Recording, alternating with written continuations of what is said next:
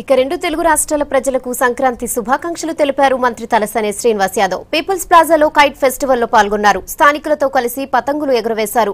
సంస్కృతి సాంప్రదాయాలను కాపాడాల్సిన బాధ్యత ప్రతి ఒక్కరిపై ఉందన్నారు.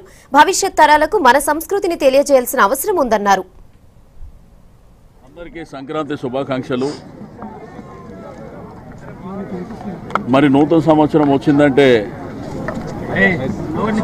భోగి మంటలు సంక్రాంతి కనుమతో.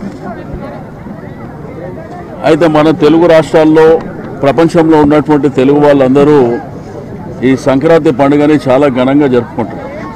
పిల్లలకు కూడా పండుగ గొప్పతనం గురించి చెప్పలేకపోవడం. ఇప్పుడు మనకు అనేకమైనటువంటి పండుగలు మరి హాలిడేస్ వస్తాయి. ఆ పండుగల పేరు మీద హాలిడేస్ వస్తాయి.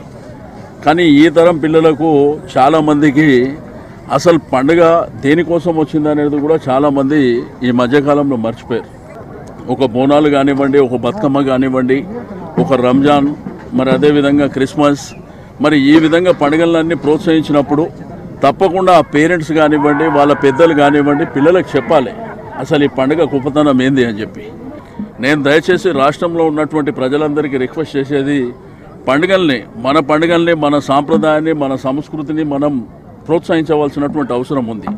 తప్పకుండా పిల్లలకు కూడా చెప్పండి అసలు ఈ పండుగ అంటే ఏంది? పండుగ గొప్పతనం అయింది కాబట్టి మీడియా మిత్రులకు కూడా నేను మనస్ఫూర్తిగా అభినందనలు తెలియజేస్తున్నాను సంక్రాంతి శుభాకాంక్షలు తెలియజేస్తున్నాను అయితే మీడియా తలుచుకుంటే తప్పకుండా ఇది పెద్ద ఎత్తున ప్రమోట్ కావడానికి కూడా అవకాశాలు ఉన్నాయి. కాబట్టి డెఫినెట్గా ఈ పండుగల్ని ప్రమోట్ చేయాలంటే మీ మీడియా సహకారం.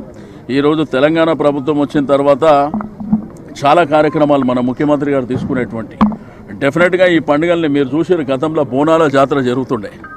బోనాల జాతర కూడా గలి జరుగుతుండే.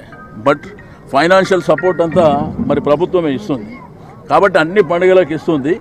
డెఫినెట్గా మన ట్రెడిషన్ని మన సంస్కృతి సాంప్రదాయాల్ని కాపాడుకోవాల్సినటువంటి అవసరం ఉంది. మనకు పూర్వ వైభవం రావాలి. తప్పకుండా ఈ పండుగలన్నీ కలకలలాడుతుండాలి.